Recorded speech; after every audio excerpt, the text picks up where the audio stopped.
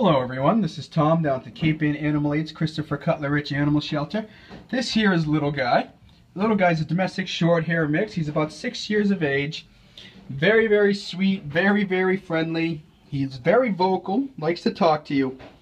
He is uh, one of our super seniors, and that means the cat's age is six years of age and up. Their adoption fee is waived. We're trying to help these guys get the forever homes that they so deserve. So please feel free to come on down and say hi to Little Guy and some of our other kitties here.